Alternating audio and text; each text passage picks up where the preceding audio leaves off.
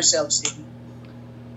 First, um, syempre, ano, um, since digital di- digital naman ito, online, wala na, hindi naman siya TV, mas masaya kung marami tayong makakasama, 'di ba?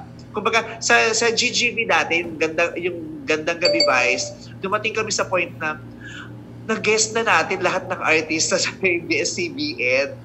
Di ba? Yung parang kahit yung mga staff, sino pa bang, sino pa bang kakausapin natin? Sino pa bang i-interviewin mo? Lahat nakausap na natin, lahat ng relevant, lahat ng artista sa ABS-CBN. Sa loob ng siyam na taon, naubos na natin. Sabi ko, oo nga eh, pero hindi naman, wala naman tayong magagawa kasi yun ang, ano, yun ang, yun, yun ang sistema.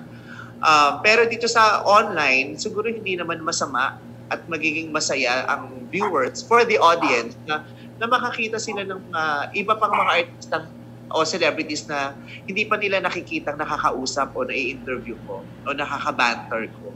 So, mas open O so pwede, meron ka ng mga naisip or wish list? Marami namang, marami naman ever since, marami namang wish list, marami namang ano.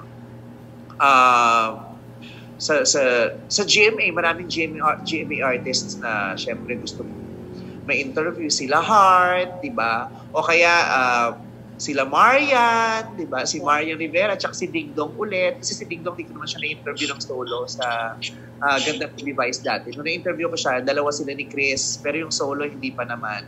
Ayun, and the, the other stars of uh, GMA.